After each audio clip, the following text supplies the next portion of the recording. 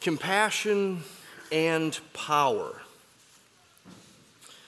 Rarely are compassion and power seen together, in my opinion, at least together in equal measure and perfect harmony. Think of any great story. The leading character might be a gentle and compassionate soul who maybe has a moment or two of unique and unusual power strength. This is Bilbo Baggins, isn't it? This is Walter Mitty. On and on the list could go. Or the leading character might be a powerful, bold, courageous man, maybe even rough around the edges. But somewhere in the story, there's this moment or two of unusual compassion and gentleness. You didn't know he had it in him. This is any Clint Eastwood movie. It makes for good storytelling to not put compassion and power in a perfect mix in a story in one person. That flash of power and that glimpse of compassion stands out in contrast to the other. Or maybe we, we write stories like that because we can't imagine one who is both fully compassionate and completely powerful at the same time. But Jesus was. Jesus of Nazareth was, and uniquely so. Turn with me to Mark 5 in your Bibles, if you have a Bible with you this morning. Mark chapter 5, where we get a glimpse of Jesus, compassionate and powerful. And surely that's what we need. We need a Savior, a hero who is both fully compassionate and fully powerful. To have compassion without power, well, we'd have sympathy but no rescue. To have power without compassion, well, we might have an indifferent rescuer or an impersonal one. In Mark 5, Jesus' compassion and power are the answer or hope for a few desperate people. Desperation is a major part of the story that we'll look at today in Mark 5.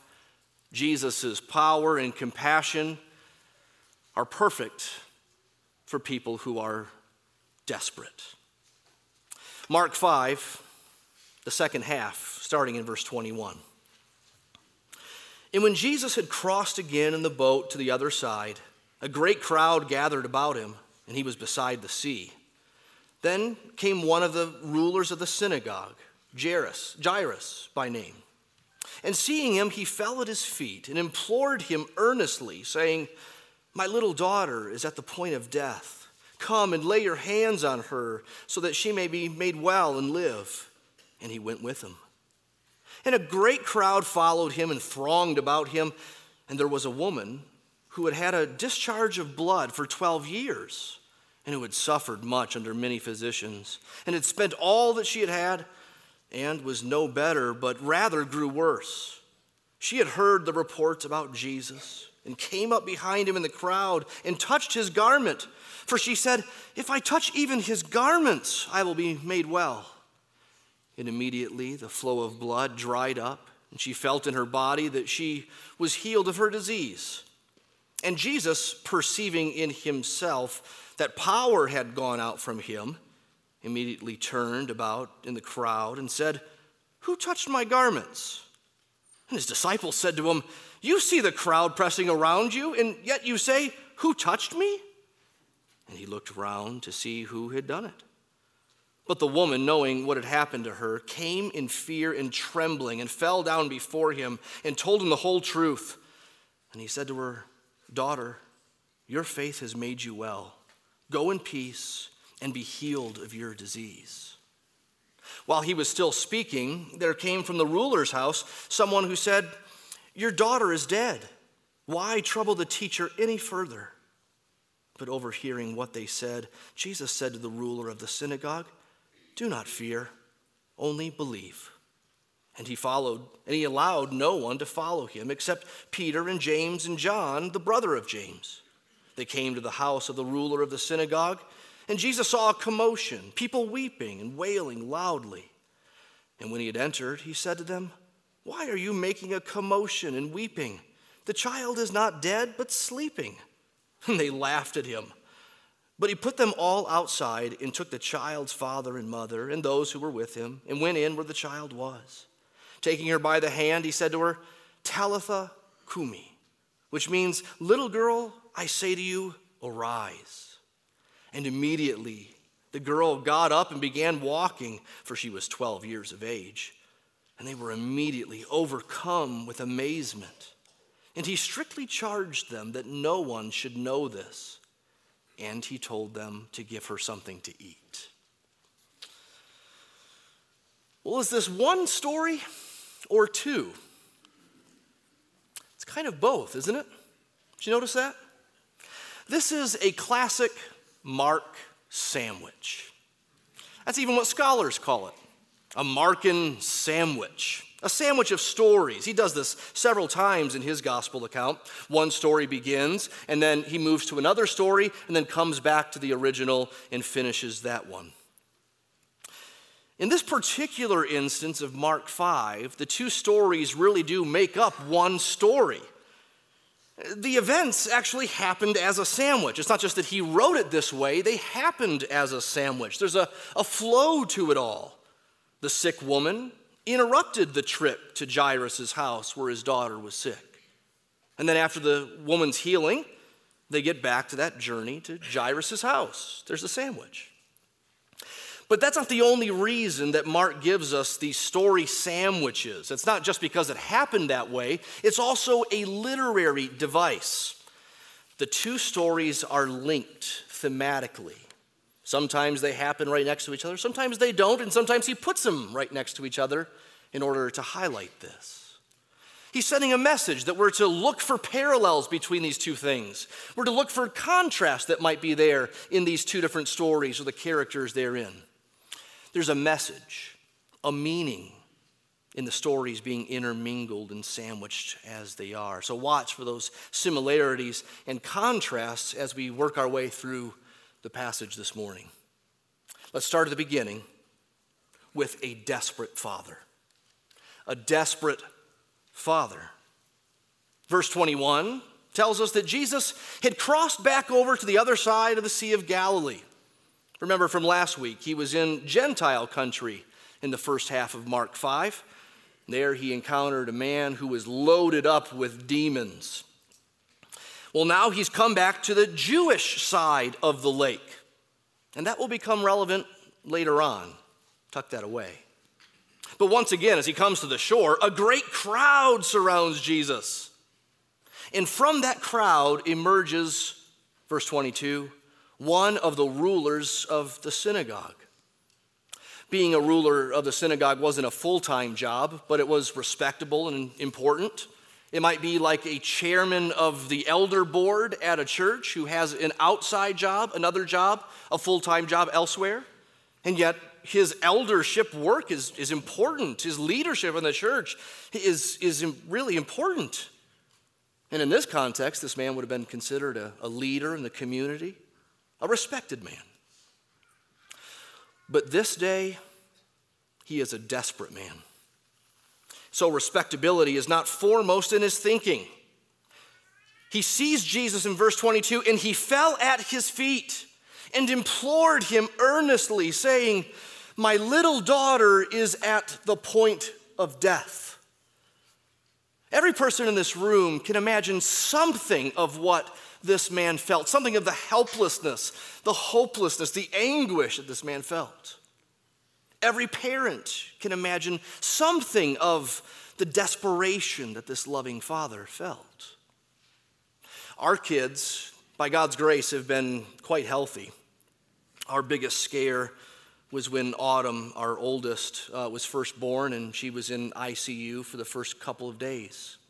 First couple of days of her existence outside the womb, we couldn't hold her really. She was in an incubator or some sort of plastic cage. I'm not sure exactly what it was called. I just know we couldn't get to her. She was in there being warmed up and fed with different needles and hoses and tubes and all that. We couldn't do anything but watch and pray. And of course, that's nothing compared to what some of you have had to deal with with your kids over the years. An illness that goes on for years and just continues to get worse, mysteriously so. Some of you have had to watch a daughter or son come to the point of death and transcend it. You, more than the rest of us, know exactly what was in the heart and mind of Jairus. And so he hears that Jesus is in town. Right at the same time, almost, that his daughter is on the brink, he hears that Jesus is showing up. He's no doubt heard about Jesus' healings elsewhere. Everyone had. That's why there's a crowd assembled ready, ready to welcome Jesus and see what he'll do next. And so this desperate father leaves his daughter's deathbed, probably in a sprint, right towards Jesus, sees him, falls down before him, and begs him, Come and lay your hands on her so that she may be made well and alive. And Jesus came. He came. Verse 24 just says, And he went with him. There's hope. But Jairus is a desperate father whose plan is interrupted. His plan is to get Jesus back to his house for his daughter's healing. It looks hopeful, but his plan is interrupted.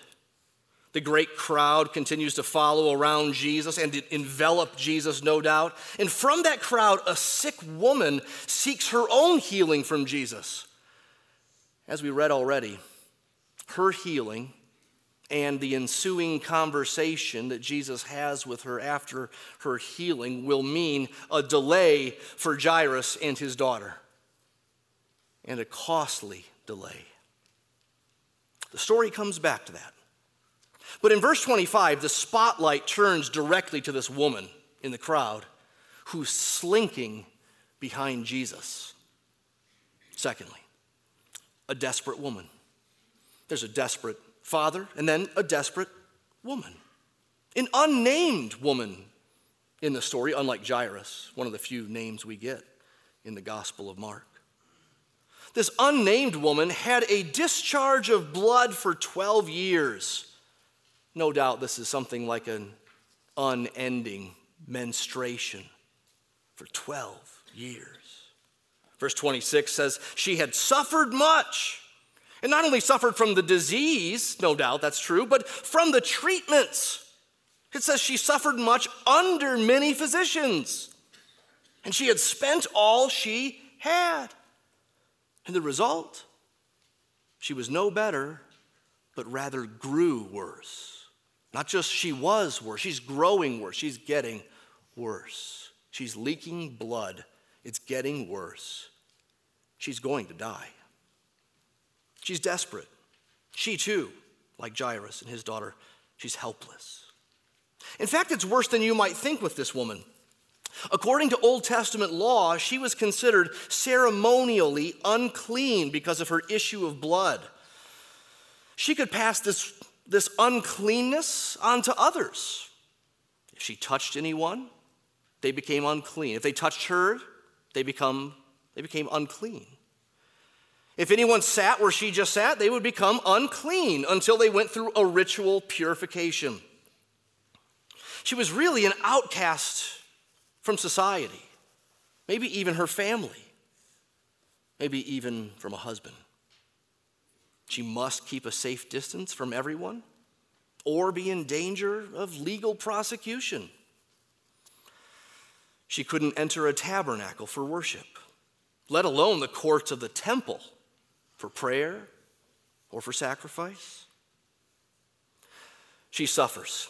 She suffers greatly. She suffers physically, she suffers socially, she suffers emotionally, and she suffers religiously.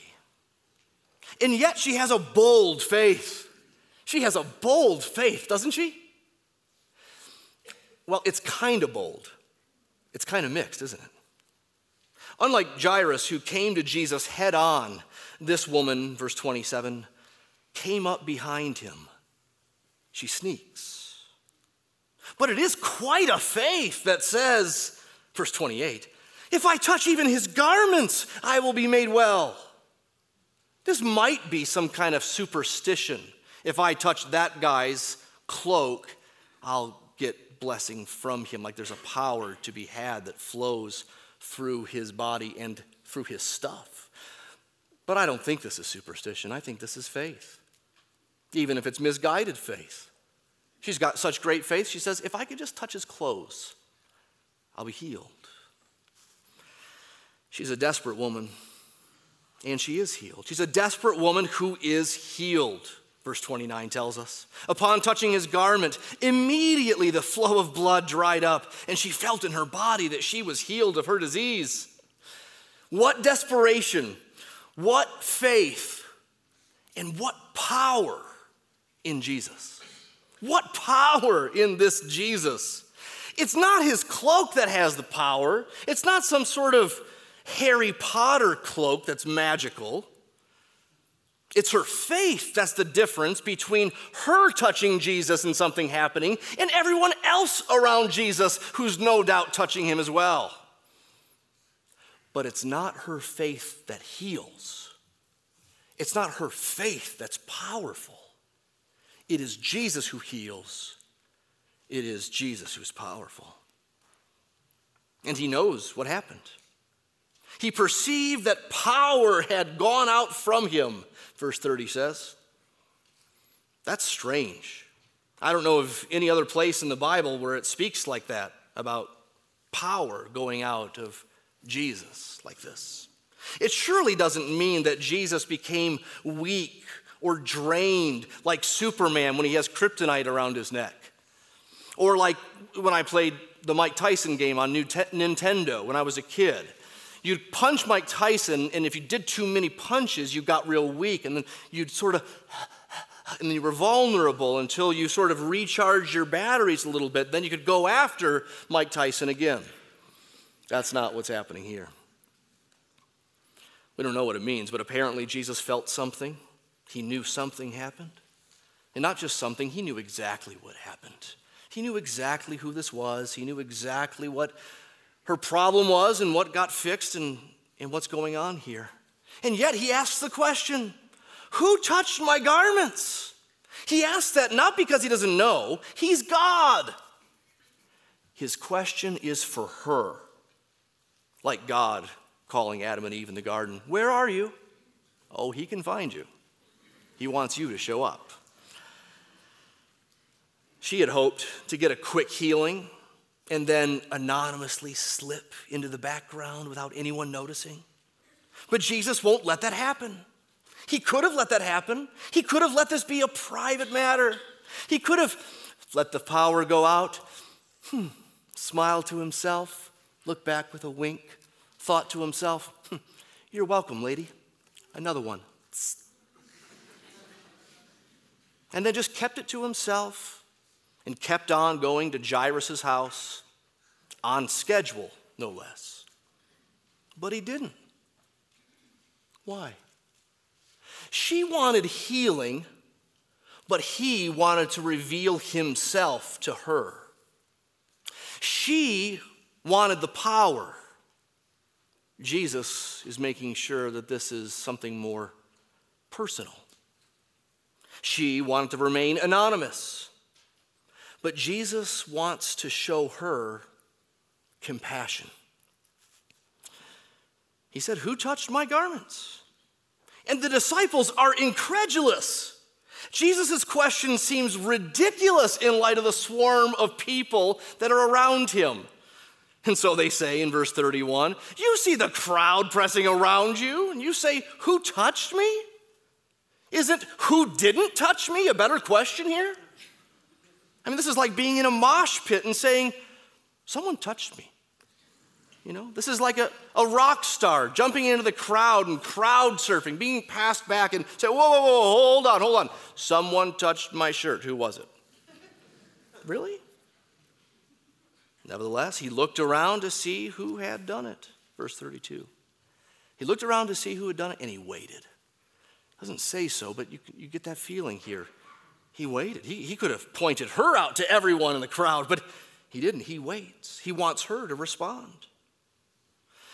You get the feeling that this may have been a more drawn out scene than just what Mark records. Remember, he records things with a lot of brevity. In any given story in the Bible, certainly more could have been recorded than what was recorded. I think this is certainly one of them. This is probably taking a little bit longer than just how long it takes to read it. And it's right about here that we should remember Jairus. Don't forget about Jairus. It says nothing about Jairus here, but he's there.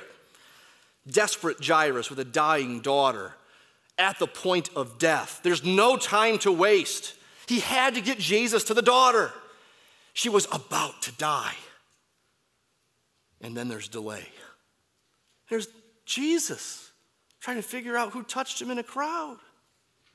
Even if he knows this woman or knows that she's sick, her death isn't imminent like his little girl's death is. You can imagine Jairus' restlessness about this time. There'd be a temptation probably to fret, to fear, to be frustrated, maybe even to be angry at Jesus. Again, the story will come back to Jairus, but don't forget about him here in the middle of this scene. Back to the woman. She was desperate, she was healed, but now she's afraid after being healed. Verse 33 The woman, knowing what had happened to her, came in fear and trembling and fell down before him and told him the whole truth. Is she afraid because she shouldn't have been in the middle of a crowd in the first place? Is she afraid because she's ceremonially unclean? She can't touch people, and she just touched a rabbi?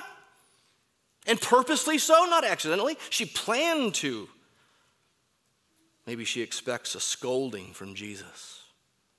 Maybe she expects being turned over to the authorities. Or maybe she's surprised, I'm sorry, afraid for another reason. In fact, Mark tells us so. Verse 33, look at it again. Knowing what had happened to her, she came in fear and trembling and fell down before him. She may have feared rebuke from Jesus or public scorn from the crowd or punishment from the authorities, but what she feared the most was what happened to her. She got what she actually hoped for. She went hoping for healing. She got healing. And when it actually happened, simply by touching his cloak, she trembled at the thought of who this really is and what this really means. What power! It's like the disciples at the end of chapter 4 who were in a storm at sea in a boat, fearing for their lives. And in terror, they asked Jesus, Don't you care that we're dying? And after he hushed the wind and calmed the raging sea, it says, verse 41, they were filled with great fear and said, Who then is this that even the wind and the sea obey him? It's like the Gerasene people in chapter 5 we saw last week. They were terrified by and helpless against this man who was possessed by a legion of demons. But when Jesus cast out these demons, freed this man, restored him, and when they saw this man sitting there, clothed and in his right mind, they were afraid. More afraid. This woman, too. She's helped, she's rescued, she's healed, and she's trembling at what this means and who this is. She's afraid but then she's blessed. She's a woman who's blessed and blessed by Jesus, no less. Verse 34 he said to her, Daughter, your faith has made you well. Go in peace and be healed of your disease. Jesus is all powerful and he's compassionate. He's kind, he's gentle. And look at these phrases here in what he says to her your faith, your belief, your trust, your confidence in me. It has made you well. Literally, in the original, it's it has saved you. Of course, the saving that's happened here is a physical saving thus far. And that happens sometimes in the gospel account. Salvation is a word that's used for healings. And it reminds us, those of us who know more than just what happened here in Mark 5, we know more of the story, the rest of the story, as Paul Harvey used to say. When we hear salvation, we know that's more than just physical healing. In fact, it first starts with a spiritual healing. It starts with forgiveness and reconciliation, and eventually leads to a physical healing one day in a new heaven and a new earth. This is all an illustration of the gospel. In a sense, every healing or every miracle that Jesus does in the gospel accounts is a reminder, it's a window, a picture of what we need spiritually. What we are spiritually, we're blind, we're helpless, we're bleeding, we're dead on the inside. And his healing is what he gives. He heals, he, he, he gives sight, he, he, he gives life, he opens up He just saved you. So go in peace. Go in peace. That's not just a, a goodbye salutation, that's a blessing. It's not just peace like, hope it goes well for you in the rest of your life. Have peace in your heart today. Peace out. It's not that, it's not any of those. Peace is the Old Testament Jewish idea of peace. It's shalom, it's wholeness. It's completeness, it's security, it's happiness, it's safety, it's friendship. This woman's not just healed, she's commended and she's restored. She's blessed. All this is such a happy scene. We hate to leave it. But just as this happy scene draws to a close, actually, even before it draws to a close, Jairus gets the dreaded news. Verse 35. While Jesus was still speaking to that woman, there came from the ruler's house some who said, Your daughter is dead. Why trouble the teacher any further? Thirdly, a dead daughter. A dead daughter. Was a desperate father and a desperate woman, and now a dead daughter. You can feel the despair, the utter helplessness and hopelessness of these friends or messengers who come to Jairus. Your daughter is dead. Why trouble the teacher any further? There's nothing he can do now. He's a good teacher. We all know that. He's a miracle worker. Okay. He's healed some, sure. But she's dead now. It's too late. If only he had come sooner. Jesus overhears this, but he ignores it and really just focuses on Jairus and in bolstering his faith. Verse 36 five beautiful, pregnant words. Do not fear, only believe. And those beautiful, do not fear, only believe. They're beautiful, and yet they're otherworldly. Jairus' daughter is dead. The resurrection of Christ hasn't happened yet. The resuscitation of Lazarus hasn't happened yet in the story. There's no reason for him to think necessarily that Jesus can raise the dead, can he? Don't fear, just believe. And we're not told what Jairus believed or how much he believed, but he believed enough that he didn't take the advice of his stupid friends, but he took Jesus straight to the house. No doubt, a far way off from the house, they can hear the mourning. In this culture, they mourned well, loudly. She's a dead daughter who is mourned. They hear, verse 38, a commotion, people weeping and wailing loudly. These were actually professional wailers, and not whalers with an H the other kind of wailers, criers, mourners. It's weird to us, but in their culture, this is how you grieved and how you honored the dead. Even poor families in this day were expected to hire at least two mourners and possibly a flutist or flautist. Why? Well, it's just a different culture than ours. We, we hire musicians at family funerals, don't we? We might hire someone to lead in, in music or singing. This was someone who would, or people who would, lead in mourning, lead in grief. And they intended to get it all out as much as they could right there and then. Jesus says, Why are you making a commotion and weeping? Verse 39, he says, The child is not dead, but sleeping. And they laughed at him. Of course, she is indeed dead. These are people who are professional mourners. They work at a funeral home. They know about dead people. They know what a dead person looks like. They've seen people die. They know what that last breath looks like.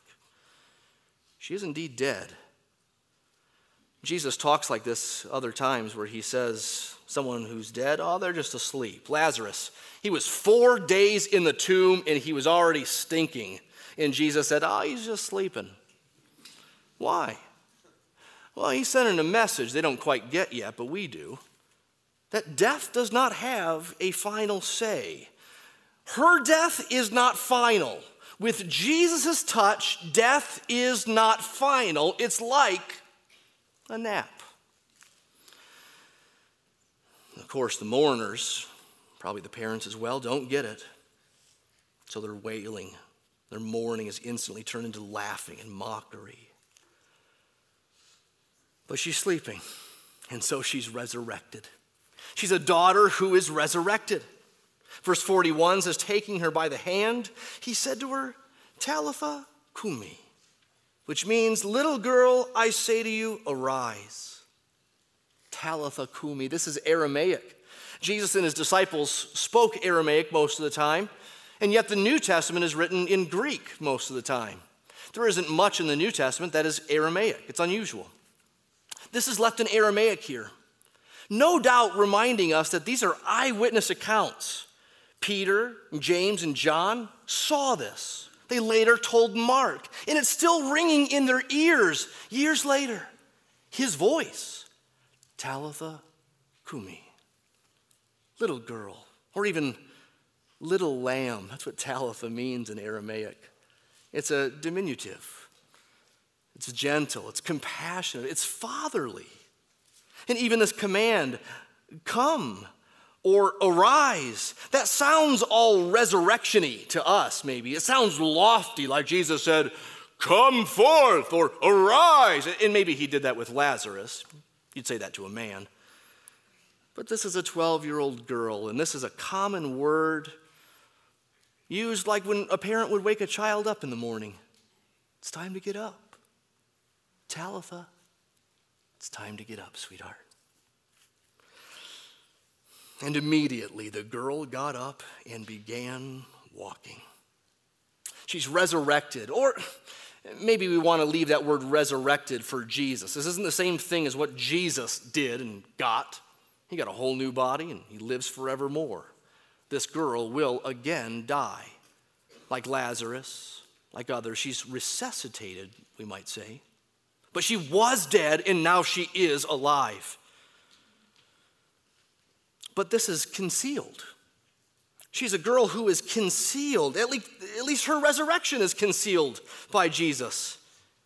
He strictly charged them that no one should know this, verse 43 says. No one should know this? Seems like everyone should know this. But in fact, there are several layers of secrecy in this story. In verse 37, he allowed no one to follow him except Peter and James and John. Nine out of the 12 disciples didn't get to see this. Verse 40, he put all the mourners outside and took the child's father and mother and those who were with him and went in. And then, verse 43, he strictly charged them that no one should know this. Why? Why keep this marvelous miracle a secret? After all, this is very different than what Jesus did in the last story we looked at last week in, in Mark 5. Remember the man who was freed from the legion of demons? That story ended with verse 19 Go home to your friends and tell them how much the Lord has done for you and how much he's had mercy on you. And the next verse says The man went through 10 cities telling everyone what had happened and who Jesus was. But that was in Gentile land. Remember the whole thing of crossing the lake? That was in Gentile land. There, Jesus says, Tell. Go ahead, tell it. Shout it from the rooftops. But back in Jewish territory, with Jewish people, Jesus is more secretive, at least for now, for a few reasons I'll remind you of. These people may start to see Jesus as their Messiah, the long awaited one, but have a very wrong idea of what kind of Messiah he's supposed to be. Secondly, the events could too quickly lead to the cross. If Jesus' identity, his titles, his purpose, his kingship get talked about too much, well, then there's going to be opposition from Jews and from Romans, and the cross will come sooner than it's supposed to. He's got a timeline. Thirdly, it's possible that these people could focus on the miracle, but not his real identity. They could get so worked up in the power that they forget the person.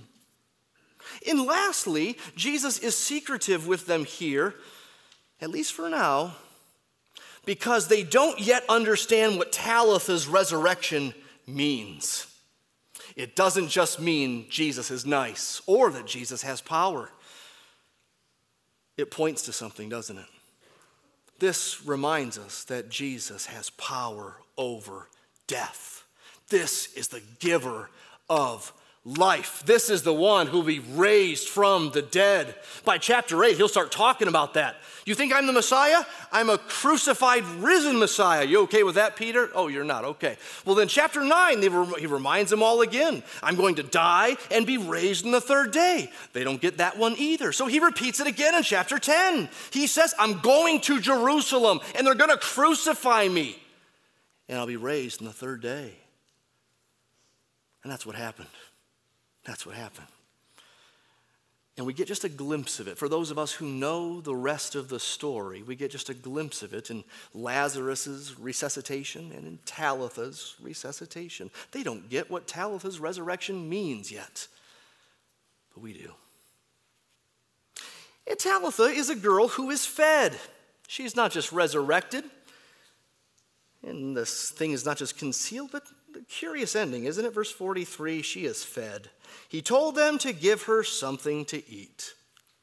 Why mention this? It seems insignificant, inconsequential. And yet, Mark doesn't use any throwaway sentences. He writes with an economy of words. This is here for a purpose. One thing it shows us is that this is an eyewitness account, just like Talitha Kumi in Aramaic. It has the ring of eyewitness about it. So, here, why include this? It was significant. She's walking around, and Jesus apparently is about to walk out, and he goes, and get her something to eat. And he goes on. That's the end of the story. I mean, you have a feeling that Peter, James, and John went, that's weird. That's something. We got to tell Mark about this someday. He's going to write it down for us.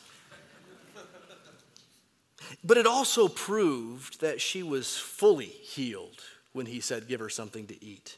Sick people don't eat when people start to get better, they get an appetite. It's always a good sign when someone says, I'm starving. Would you go give me a cheeseburger or something? That's what I think of when I'm finally better after being sick. A che- give me a cheeseburger, a big one. And it also proved that she was not some sort of ethereal spirit being that was now walking around. This was no ghost. And that's kind of important. This is a physical being just like Jesus was after his resurrection. Remember when he showed up to the disciples? One of the first things he said as he showed up in that room after the resurrection is, Do you have anything to eat? Luke 24 records that. And it says, And they gave him some fish. He eats, he has a body. Now, lastly, what we need to do is consider a growing question that it's looming, but it's even growing as these stories unfold in the gospel according to Mark. The question is this Who then is this? It's a growing question.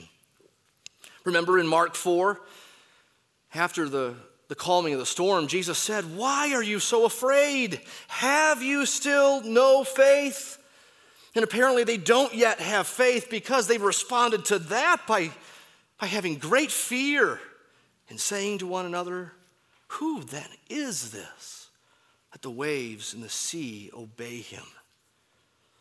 Now, remember, if you've been with us in recent weeks, that the two miracles we're looking at today in chapter 5 are really part of a string of miracles that go together at the end of chapter 4 and into chapter 5. There are four miracles that are all related and important.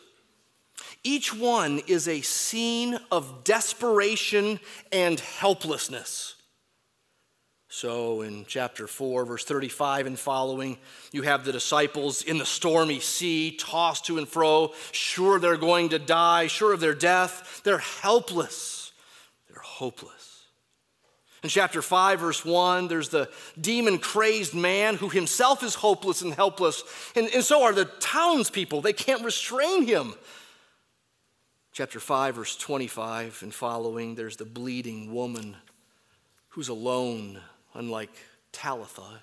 She has no one to intercede for her, no one to go get Jesus for. She's desperate. And in chapter 5, verse 35 and following, you don't get more desperate than death a dead daughter and a helpless father.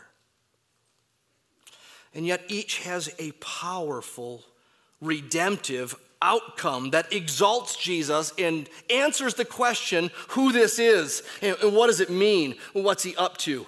How do we respond? Let us believe, let us not be afraid.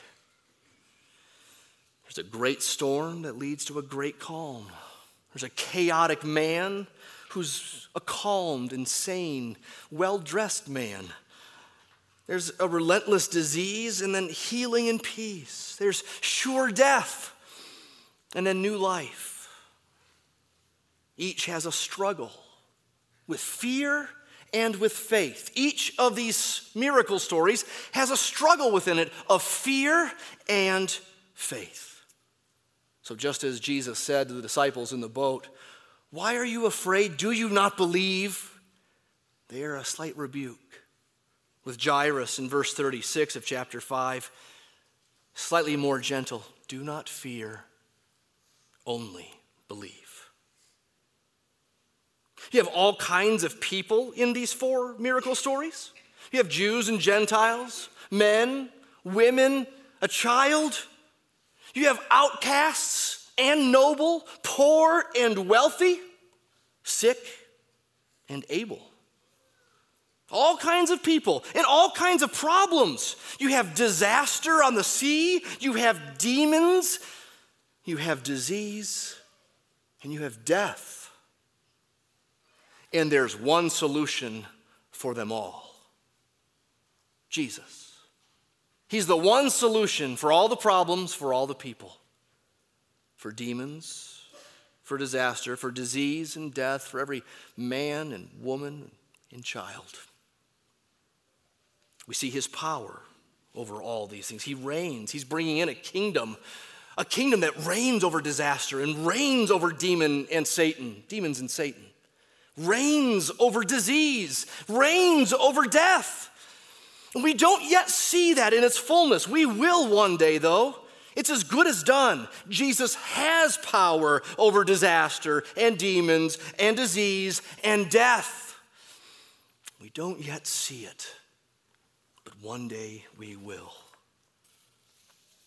He is this world's Savior. He is this world's, He's the Savior of this mankind. He's no traveling hospital. He's no doctor with a bag doing the best he can and bandaging up and then going on his way. He's no magician looking to impress. He is no conjurer of cheap tricks. You remember that line from Lord of the Rings? Gandalf says, Bilbo Baggins, do not take me as some sort of conjurer of cheap tricks. I wish I could grow as I did that. I Wish I had long, flowing white hair. Remember that? Do not take me for some conjurer of cheap tricks. Jesus is no huckster of cheap tricks. He's the world's Savior and King. He's God in the flesh. and he's good. He's infinitely powerful, and he's breathtakingly kind and compassionate and gentle. He's one who says, Little girl, it's time to wake up. Someone get her some food. That's our Jesus. So know who this is. Don't just ask the question, Who then is this? Hopefully, you are starting to see who this is. Maybe instead it's a powerful conclusion. You see, for those in the story, this is a growing question. They're amazed. And their amazement, well, it's not clear whether it's amazement belief and amazement worship or amazement, what the, what, what? Real? What's going on? They're amazed. Hopefully, for you, it's not a growing question, but a powerful conclusion who this is. Faith is such a big part of the story. Believe, have faith. The woman's faith is commended. Have you ever thought about this? Faith is a conclusion. Faith is a conclusion. Faith is not vague religiosity like people use the word faith today. Oh, he's got faith. Oh, yeah, that other guy, Buddhist guy, he's got faith. Hindu guy, yeah, work, uh, Hindu guy, he, he's got faith. Faith is not just positive thinking. Faith is not just positive thinking in Jesus. Faith is not something you try your darndest to muster up and make sure you aim it in Jesus' direction. Faith is seeing Jesus aright and locking on to him for all eternity for everything. It's putting all your eggs into the Jesus basket. And faith springs from an awareness of your own helplessness. It has a similar desperation to the desperation that we find in Jairus and this woman who's bleeding to death. You see, remember, these are windows into what we need spiritually. Do you find yourself, spiritually speaking, to be desperate and helpless, like this man was with his daughter, like this woman was with her blood, and like the daughter was with death? Do you find yourself to be dying or dead, spiritually speaking? This is what we need. We need Jesus. We need nothing less than his healing touch on our souls. We need nothing less than his resurrection life in our hearts. And we need to know that he came for something greater than even healing and resuscitation, as great as that is in this story. Healing and resuscitation is so great and glorious in this story. It's just what they asked for and just what they need. And yet, Jesus came for more than what we see here in Mark 5, we must remember these were temporary healings. There's no girl named Talitha in Jerusalem these days walking around who Jesus healed 2,000 years ago or so. There's no Jairus, there's no Jairus' daughter, there's no woman with the issue of blood who's still telling that story on the ground in Jerusalem these days. They, they died. They died. Your healing is not your final hope. Your temporary rescue is not your final hope. You, God's provision for you financially is not your final hope. Peter tells us that we're to set our hope fully on the grace that's to be revealed at the coming of Jesus. And so, Christian, we remind ourselves death is not the boss, Jesus is. Even if we die, we die to be with him. We remember 1 Corinthians 15 that death is swallowed up in victory. Oh, death, where is your victory? Oh, death, where is your sting?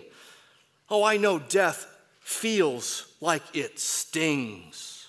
And yet, Paul is right to ask that rhetorical question come on, what can it do? For the Christian, what can it do? But remind us of that day that has been promised. In Isaiah 25, it was promised a day when he will swallow up death forever. He will swallow it up, ugly as it is. Revelation 21 says, He will wipe away every tear from their eyes, and death shall be no more. Neither shall there be mourning, nor crying, nor pain anymore, for the former things have passed away. That's the new heaven and the new earth. That's what's coming for us if we believe Christ and we trust in Him for our sins. And for us, every trial and every heartache that we go through in the meantime is one, a reminder of our weakness and our help, helplessness, our frailty. And it's also a reminder of what's to come. We're not home yet. But it's also a reminder, painful as they might be, the reminders of what is sure. Because Jesus is sure because he did rise from the dead. We put all our eggs in that one basket and believe he will raise us with him too one day. We're going to sing this song as we close. Listen to this. Come behold the wondrous mystery, slain by death, the God of life, but no grave could ever restrain him. Praise the Lord, he is alive. What a foretaste of deliverance. How unwavering our hope. Christ in power, resurrected, as we will be when he comes. What a foretaste of deliverance. How unwavering our hope. Christ in power, resurrected, as we will be when he comes. Let's pray. Oh, Father, give us this glorious resurrection hope, and may it abound and spread here this morning. Lord Jesus, as you promised to build your church and that the gates of hell would not prevail against it, we pray you'd build it larger here this morning, build it stronger here this morning. Add to it, we pray, those who aren't yet sure whether their sins are forgiven. We pray they would come to know you. We pray it would start with them recognizing their need and feeling their helplessness and in desperation finding you as all they need. Lord, we pray as Christians, you'd cause us to ponder and, and wonder often, to behold the wondrous mystery of Christ in the flesh, dying for our sins, raised on the third day, and coming again in glory. Help us, Lord, to think often on you and your ways and your teaching and your glory. As a personal Savior, Lord, help us to commune with you often. Help us now to preach to ourselves and to each other about this wondrous mystery and to commune with you, Lord Jesus, as we do so, as we reflect on your truth and what you've done and what you will do for your name's sake.